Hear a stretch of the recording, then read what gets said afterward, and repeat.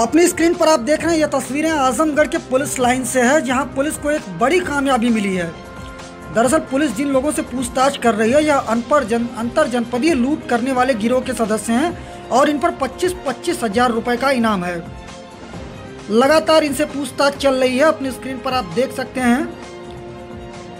मुखबिर की सूचना पर इनकी गिरफ्तारी हुई है, और देवगांव पुलिस के अलावा एसटीएफ ने संयुक्त रूप से यह ऑपरेशन चलाया।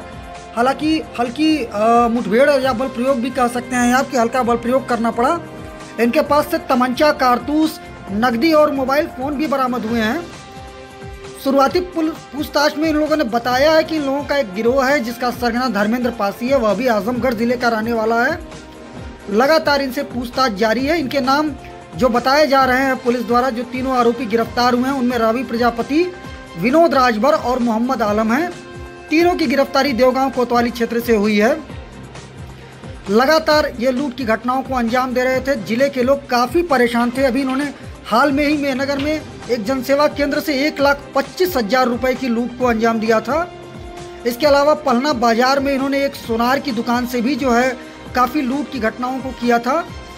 लगातार पुलिस इनसे पूछताछ कर रही है। यहाँ से पूछताछ होने के बाद इनको जो है न्यायालय भेजा जाएगा, जहाँ से इन्हें जेल भेजने की प्रक्रिया शुरू की जाएगी। आइए जानते हैं खुद जो है, क्या है पूरा मामला, किस तरह से पूछताछ चली है, क्या कहना है पुलिस अधीक्षक आजमगढ़ का?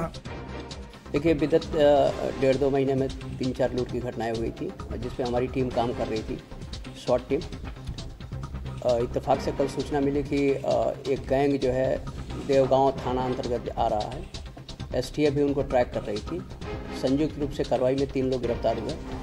गिरफ्तारी के दौरान इनके यहाँ से तमंचे और बरामद हुए। उसके बाद पूछताछ के दौरान पता चला कि यही गैंग जो है सक्रिय था और यही लूट की वारदात करते थे। ये इनका बहुत बड़ा गैंग है।